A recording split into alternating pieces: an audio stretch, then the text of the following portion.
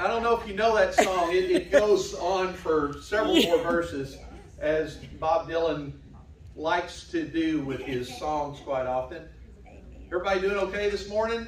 Yeah. It's, it's good to be here. And, and uh, uh, last week, Danelle spoke. Well, it looks like I've got a partner today. So, uh, well, that was Bob Dylan's song, Serve Somebody. Gotta serve somebody. And it's funny that the gotta serve somebody is doesn't appear in the song. I don't know if you noticed that, but it's anyway. I, I thought that was interesting. But it was the first track and the single from his album Slow Train Coming. Maybe some of you might remember that. That was way back in 1979. But, you know, uh, some of us remember it, some of us don't. Those of, the, those of you who are music enthusiasts, you might avail yourself and go back and listen to some some uh, classic rock. There's some good stuff back there. Anyway, um, but uh, Slow Train Coming was the first album of what was known as, as Dylan's gospel years. Yeah. And it was met with divisive reviews. Rolling Stone called it Dylan's best since Highway 61 Revisited, which was re- released in 1965. John Lennon, however, who was a friend of, of, of Bob Dylan's, he criticized Dylan both as a Christian and a musical artist during this period and really was critical of his music. In fact, Lennon famously wrote a, a parody of the song called Serve Yourself. And I, I wouldn't recommend that one because there's there's a little profanity that's laced throughout, just to kind of make his point.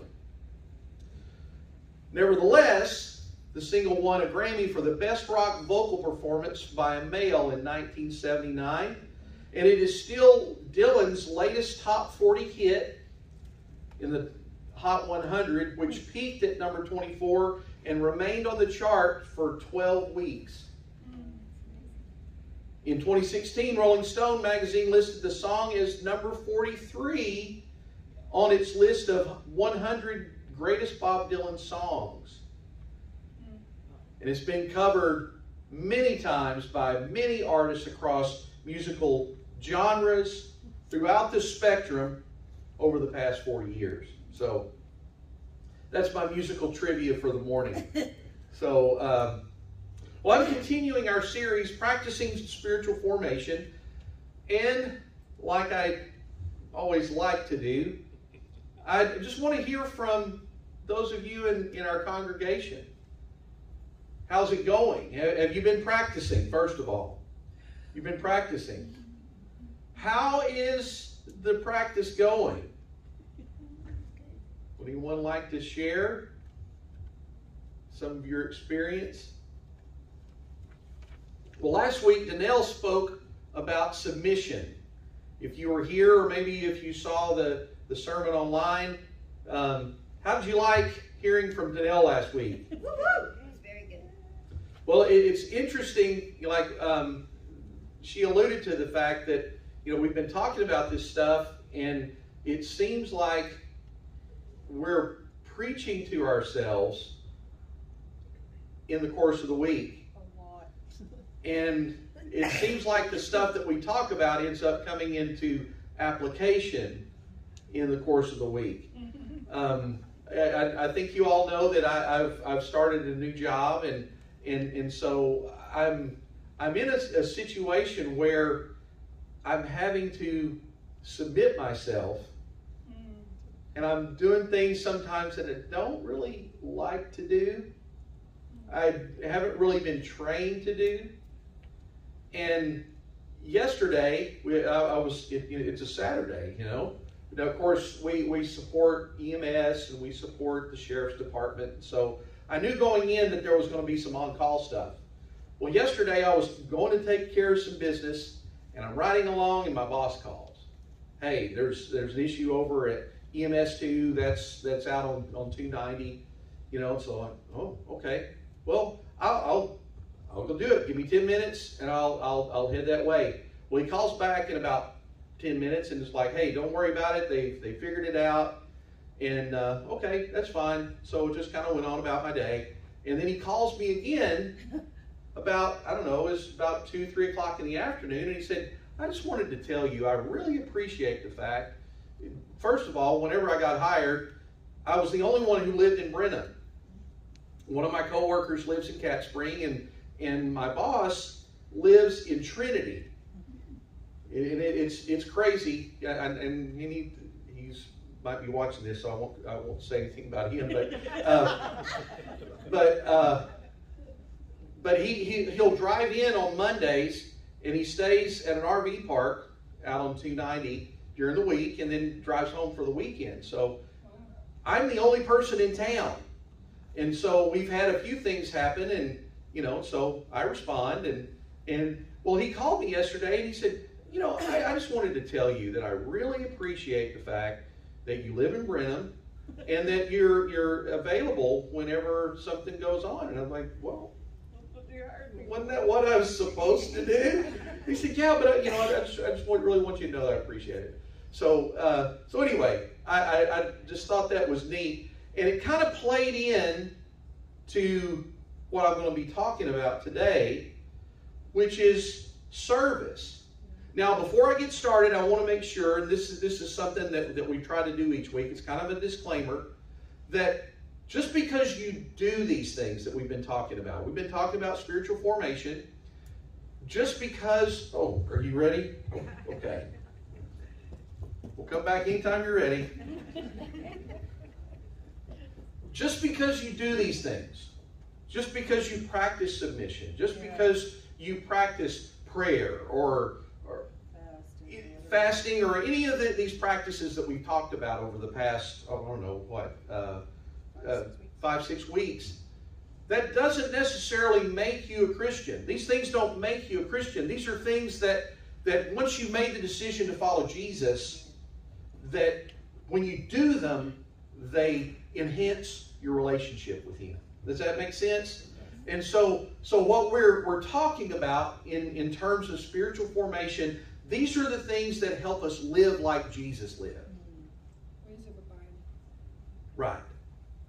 So that's what this is about. This was this was kind of the, the trajectory that I, I, I was on a, a, few months ago. Whenever whenever we we decided let, let's just do this. Let's just go through and let's talk about these practices and then encourage each other to do these things. Because as we do these things, this is part of discipleship. We we we imitate Jesus. And because we're imitating him, we become more like him. You know, the we, we become like the things that we that we admire, that we that we look up to. And so so we as we do this, as we're looking at what Jesus did, then we become more like him. So so, with that, I want to talk to you a little bit about service. The Apostle James wrote a letter that went to the first century church, and he said, God opposes the proud, but gives grace to the humble. And that's a reference to Proverbs 3.34. Oh, what? Say again? Gives grace to who? It was addressed to the first century church. Gives grace to who? Oh, oh, sorry. Oh, oh, stuff. Uh, sorry. I, my hearing is atrocious. I, I, just want to tell you that. And and uh, so she was sorry. Yeah, that, that's embarrassing, but it, it's true. I, I too many years of playing drums and in uh, loud amps and everything else. God gives grace to the humble.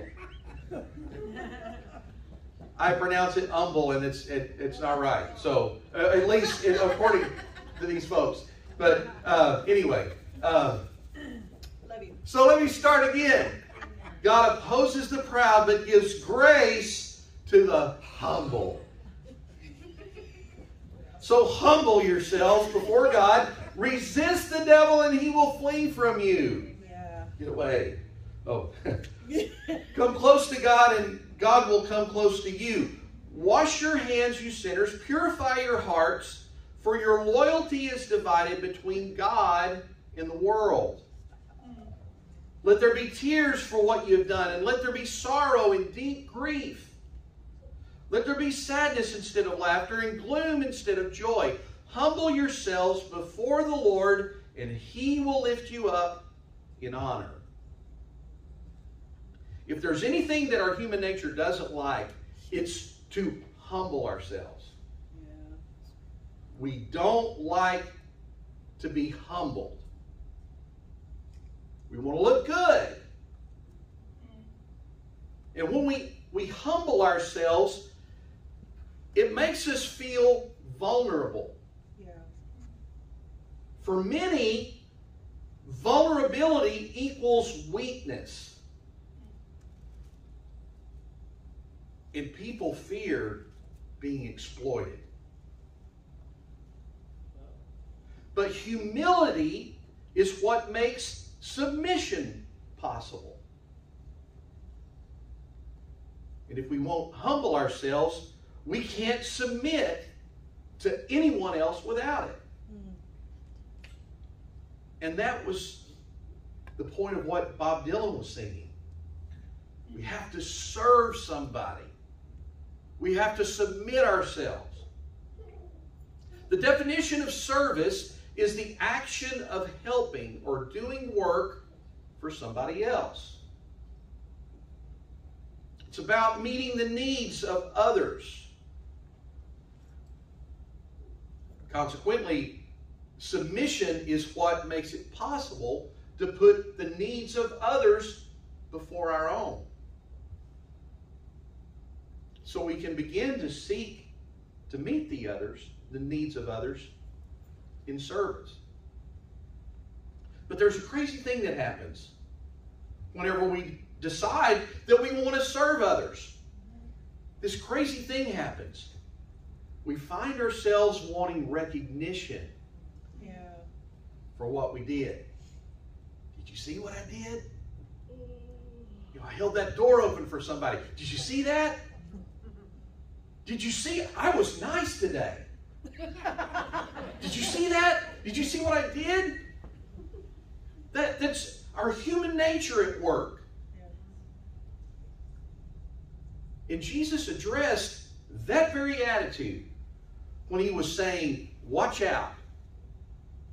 Don't do your good deeds publicly to be admired by others, for you will lose the reward from your Father in heaven.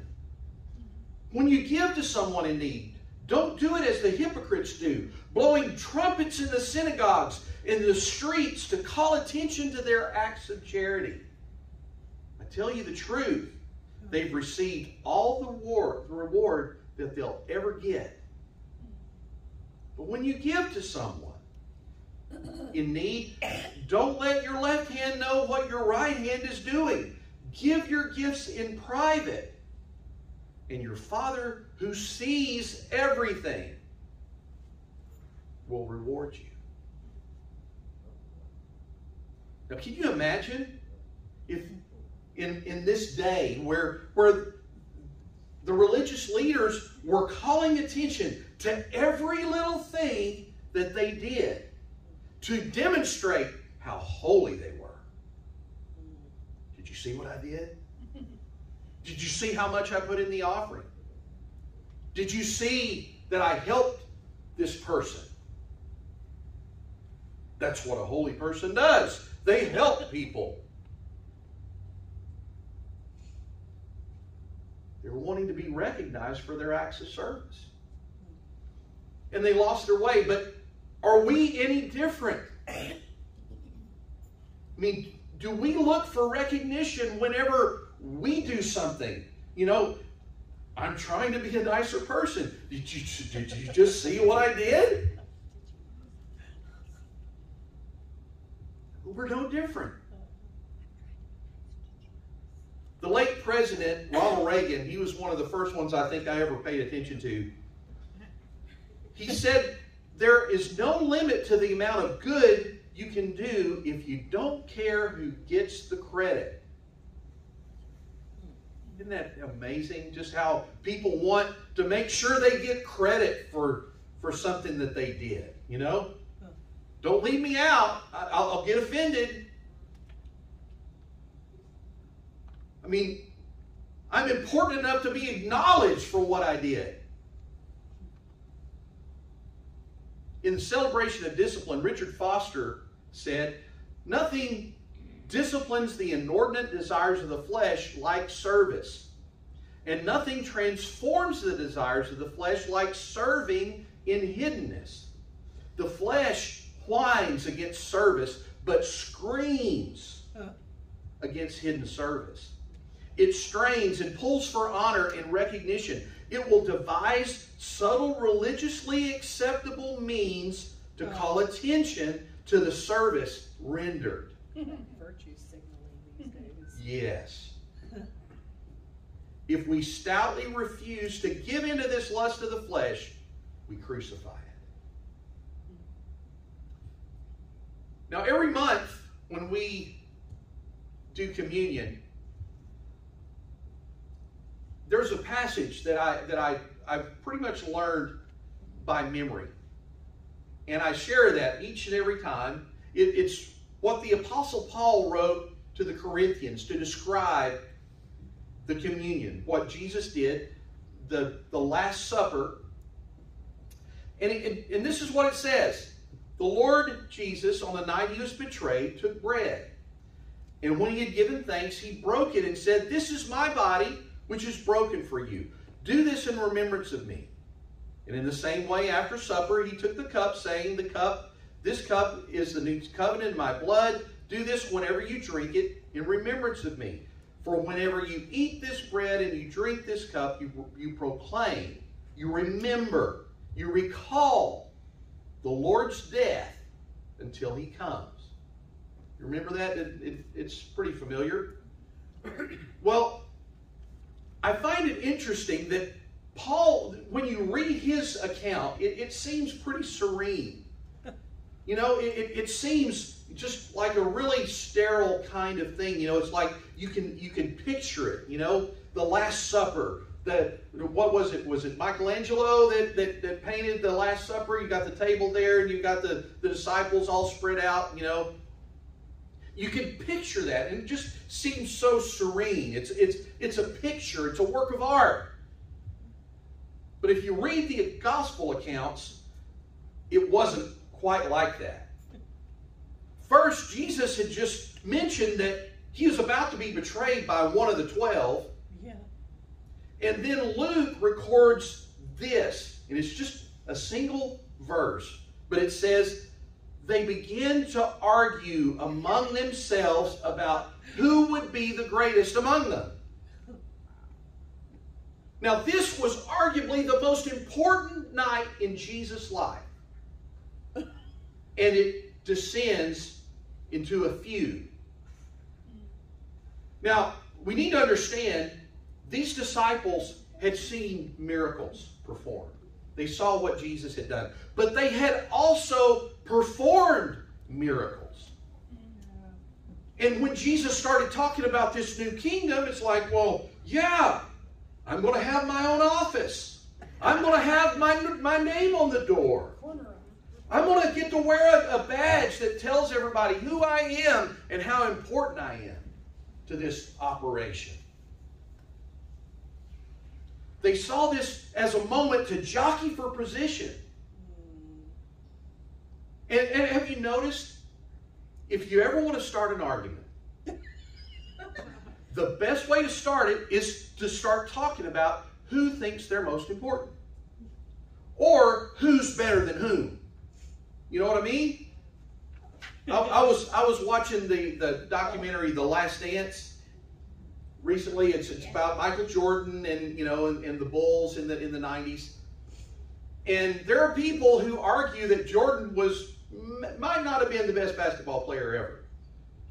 And those people and the people that really believe that, that Jordan were the best, if you want to really get them stirred up, just say, yeah, Michael Jordan was the best basketball player. And you'll see it happen. They start fighting over, well, LeBron James is better than Michael Jordan, you know, or, or whoever. And, and that's, that, that's what happens when you start talking about who's better than whom. You just set yourself up for a fight.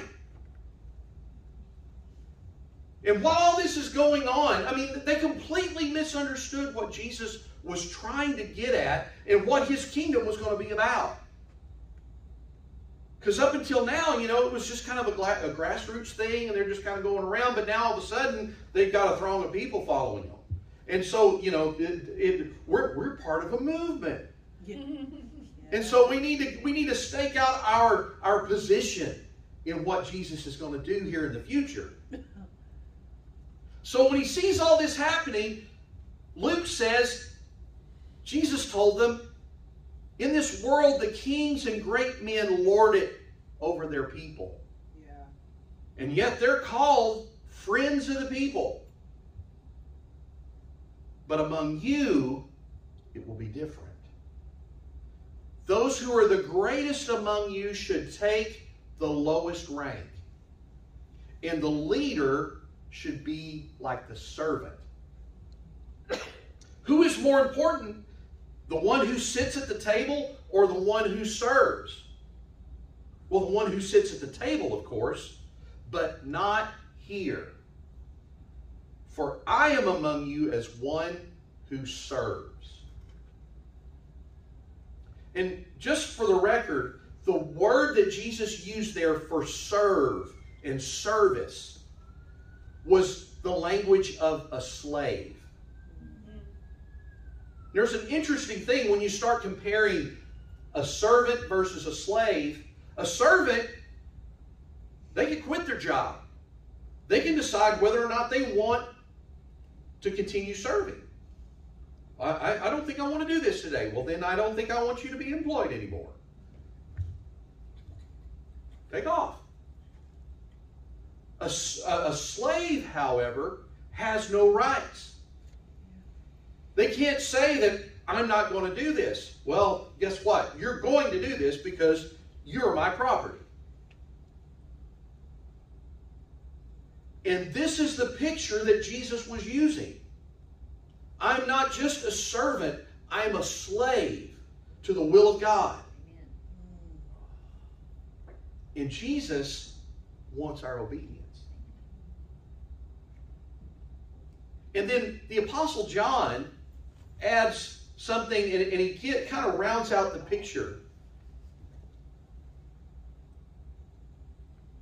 He says, So Jesus got up from the table he took off his robe and he wrapped a towel around his waist and poured water into a basin. And then he began to wash the disciples' feet, drying them with a towel that he had around himself. I didn't leave the passage in the slide, I just realized that. But Jesus made himself, I mean, Jesus, at this point in time, he was the most important man. He is the most powerful man that these disciples had ever seen. They might have seen the local magistrate and they might have seen, you know, people who were in charge, religious leaders, but they saw real power yeah. in Jesus. He'd lay his hands on people and they would recover. They would be healed, restored sight, hearing, to raise the dead at this point. Yeah. And Jesus humbled himself before them to the point where even Peter said, uh, Lord, you can't wash my feet. And the reason why was it, it, was it was inappropriate in Peter's world. You're my master. You cannot wash my feet. And, and to, to that, Jesus replied, Well, if I don't wash your, your feet, then you, you can't be with me in, in my kingdom. And then Peter said, Well, in that case, wash me all, well, wash me all over, make me clean. But the, the picture that Jesus was, was trying to drive home to these disciples if you want to be great in God's kingdom, you must be God's slave. And if you know that Jesus did it, you better know that that's what is required of us too. So, how can we practice service this week? What does service look like? In the book Celebration of Discipline, Richard Foster outlines several types of service that we can practice. He talks about hidden service, things that people don't see. And then he talks about small things. You know, th- th- these are things that most people just won't pay attention to. Like maybe putting the, the, the envelopes in the back of the chairs and, and stuff like that. You know, those, those, those are considered small things, you know?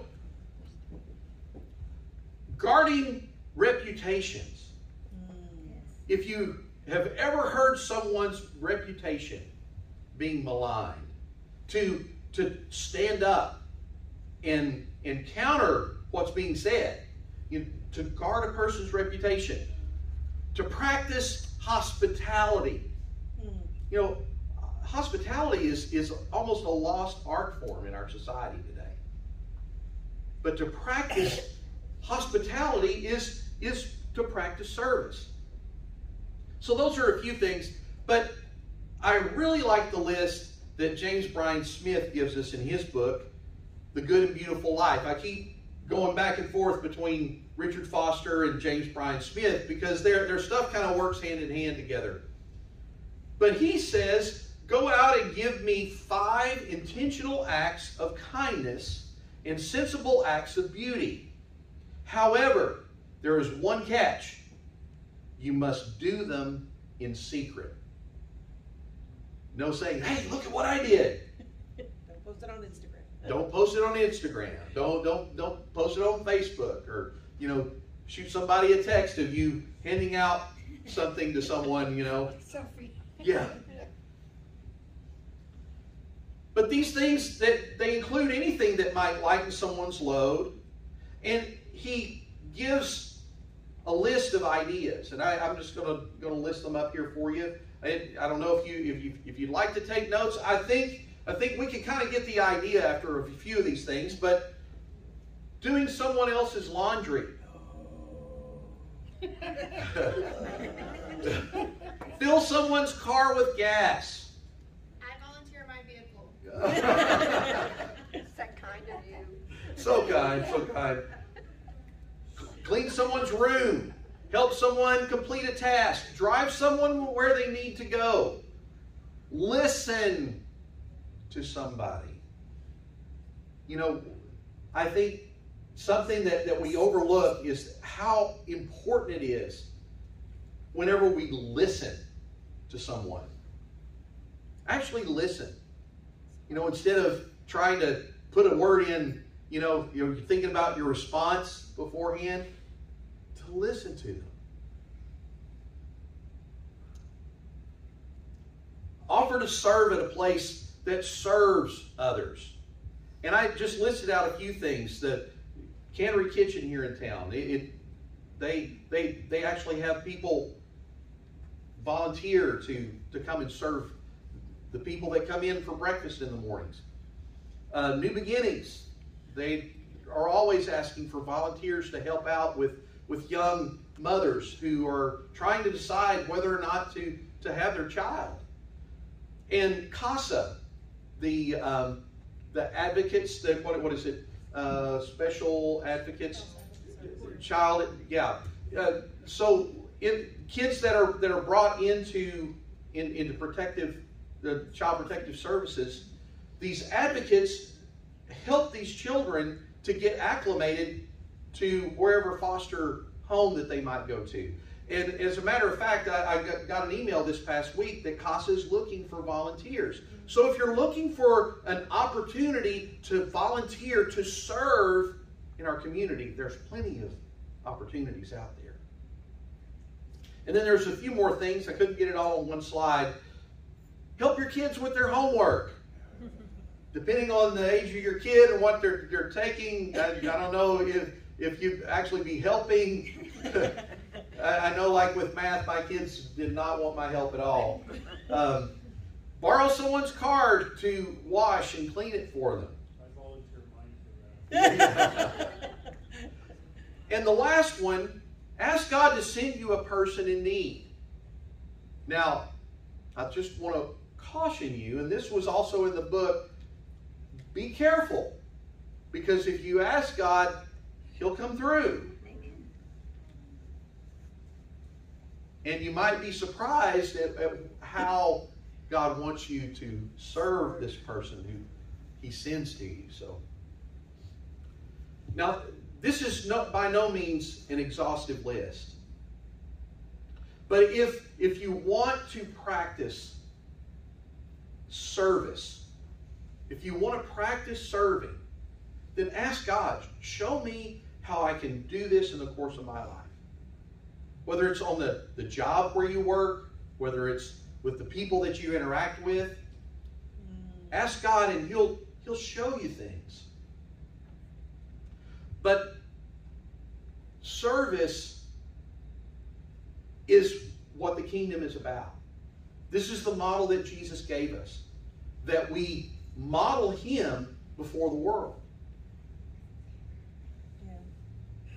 So I, I want to encourage you this week to practice and to, to do five, as James Bryan Smith says. Pick five and practice this week, okay? Let's stand together.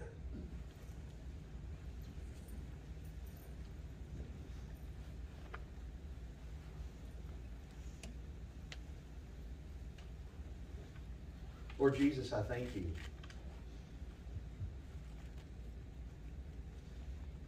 That you call us as your disciples, not just to give mental assent to what you taught,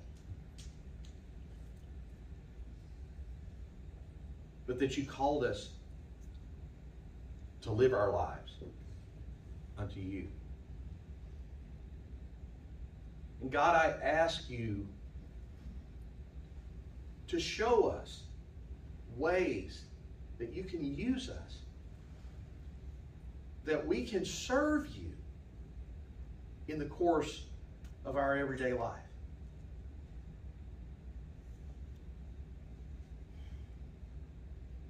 Ask you, God, to bring people to mind.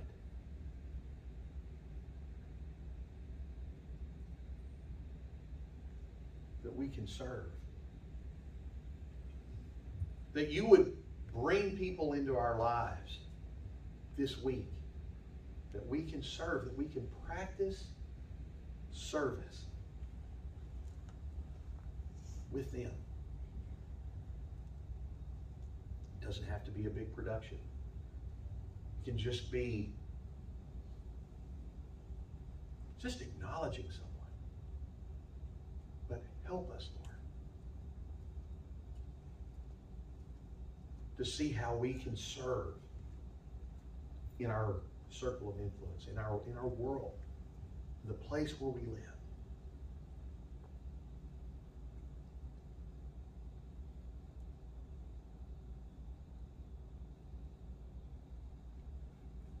Come, Holy Spirit, and move in us. God, in Jesus' name.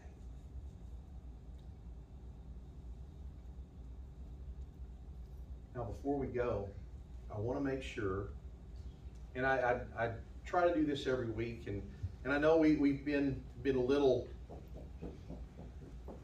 what's what's the word? Just a little anxious maybe about about praying for each other, about touching one another.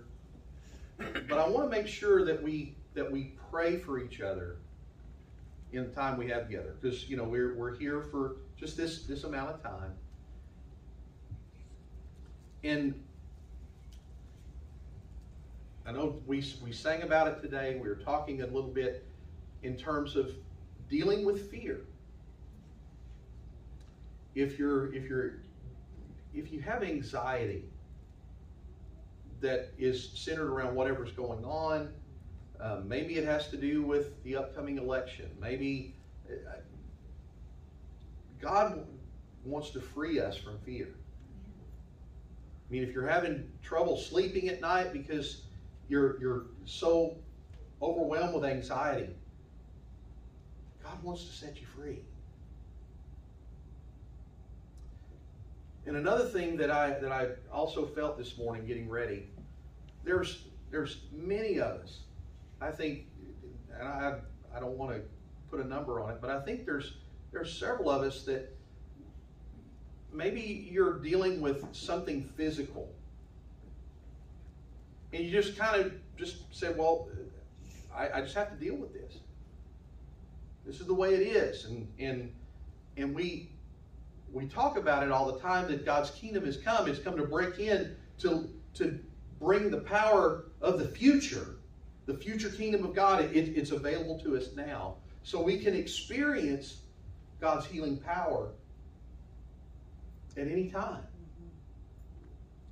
And if you're if you're experiencing pain, if it's it, it, a, a nagging thing that you've been dealing with, and, and you just have have said, yeah, I'm going to have to deal with this the rest of my life, and I'm just not going to ask anymore.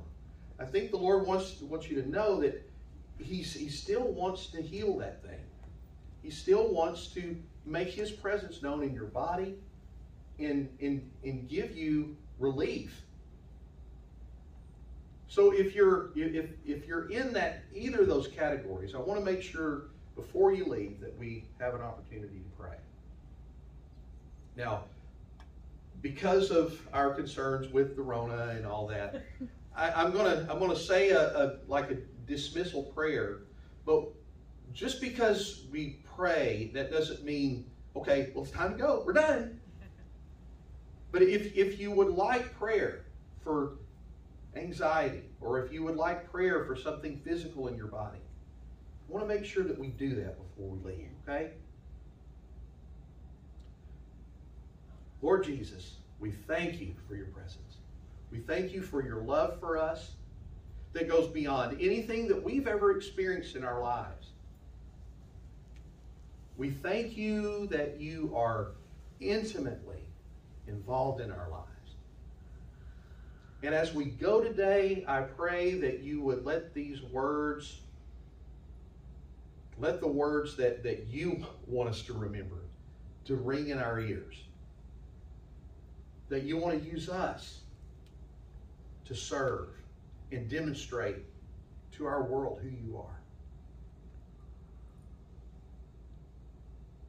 And as we go today, Lord, may your presence rest on us. May your hand guide us. May your grace keep us in your peace. It's in Jesus' name we pray. God bless.